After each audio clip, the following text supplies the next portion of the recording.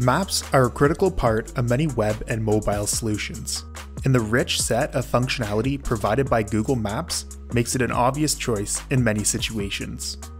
Today, we'll be building a Google Maps application using Vue 3 with the Composition API. We'll create an application that tells the distance between the current point of the user and the location they clicked on the map. By the end of this video, you'll have an understanding of how to use Google Maps with Vue 3 and how to interact with it using the Composition API.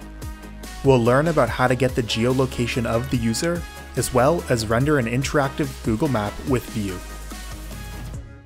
If you're new around here, don't forget to subscribe and check out some of my other tutorials. You can find a link to the full source code in the description below. To get started, we'll need to create a new Vue 3 project using the CLI. We'll select Vue 3 for our project since we'll be using the new Composition API.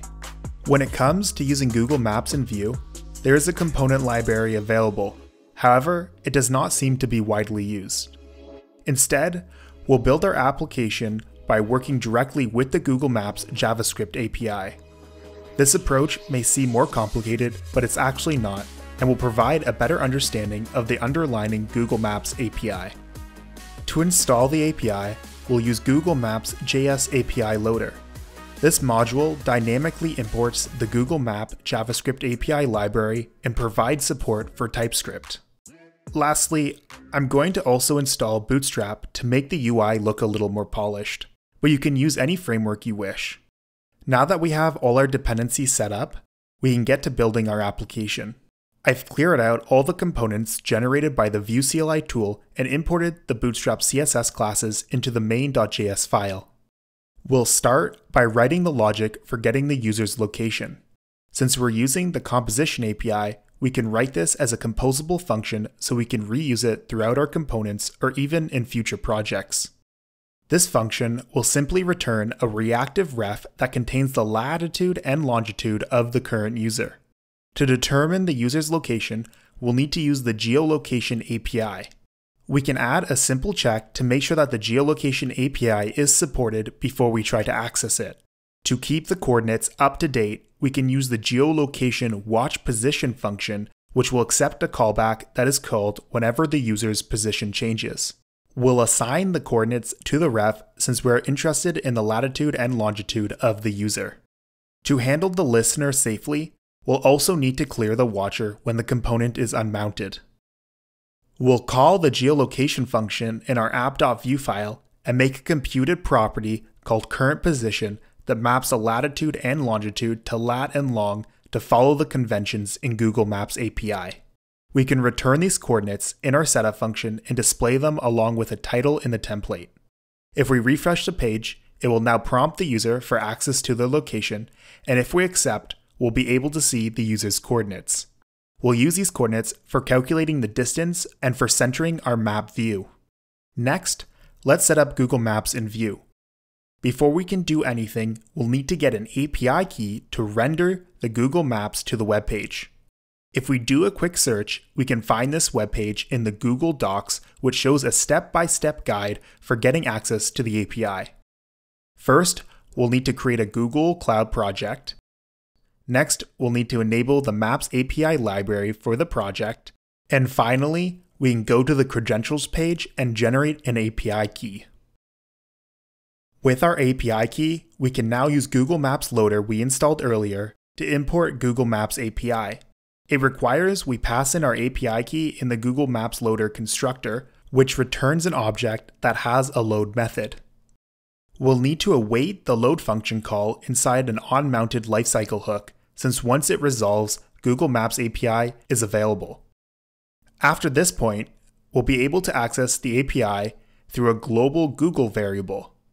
But because the library was dynamically loaded, when you try to access the Google object, you'll get an error from ESLint saying the variable is not defined. We can simply disable this by adding ESLint disable no undefined to the top of our script.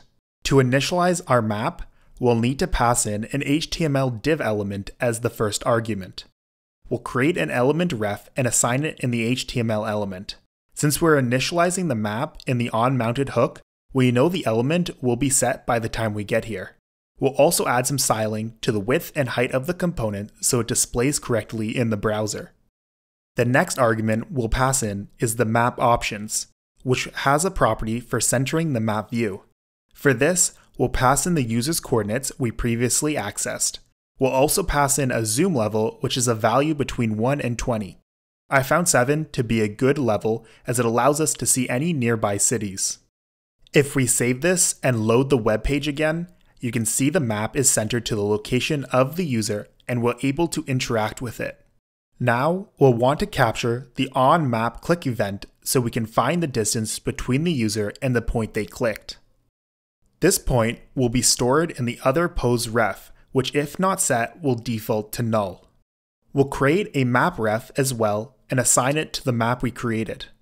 The only reason we're making this a ref is that we'll need to watch it later when we draw the lines between the two points.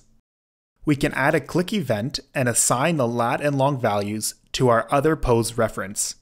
We'll assign this to a click listener variable so we can clean it up when the component is unmounted. We'll return this in our template and display the other position's value similar to how we did with the user's position. Since this value could be null, we'll add a v-if before it and display a text saying that the user needs to click a point on the map. Now, if we click around on the map, we can see that it updates and sets this point value. For a visual cue, we'll draw a line on the map so the user can see the two points they're computing the distance between. We can do this with a watch function, which will watch for any changes in the map and position. If any of these values changes, we'll create a polyline object which accepts a path which will be our two points on the map and the map we'd like to render it on. We'll also want to make sure that we remove the old line and create a new one each time. The last part is to actually compute the distance between the two points.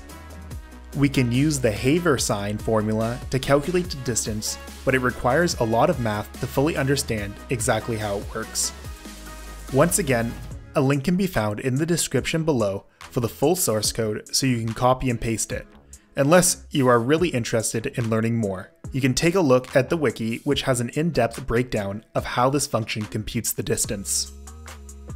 We'll wrap this function inside a computed property and pass in the two points. We'll only want to compute the value if the click point is set, otherwise we'll return 0. Lastly, we'll return this in our setup function and display it in the template. Now we are done. If you click anywhere on the map, it will draw a line between you and the point you clicked, as well as display the distance. Thanks for watching. I hope you learned about using Vue 3 with Google Maps. I also have a growing community over on Discord, so I recommend you go and check it out. Anyways, hope to see you in the next one.